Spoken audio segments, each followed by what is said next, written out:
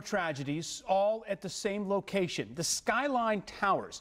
In three months, two toddlers have died after falling from high floors in the building, and a third toddler was hurt. Lareb Zaidi still sees her son's broken body every time she closes her eyes, and it's been just over two months since the toddler fell from the 26th floor. Our Bruce Leshan just talked with the Zaidis, and they're demanding that the apartment managers do more to keep kids safe. A warning to you tonight this story is disturbing. I was trying to lift, lift him up, but I can't, and the blood was coming out of his mouth. The day three-year-old Syed Zaidi fell through the window screen in his parents' 26th floor apartment. His mother raced downstairs in hopes of a miracle. That scene always come in front of my eyes.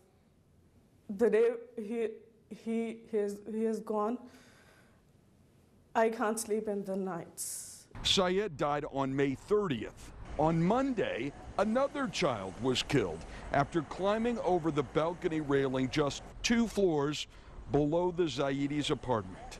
And three years ago, a little girl miraculously survived after falling through a window on the fifth floor of the very same building. What did they do after the first incident?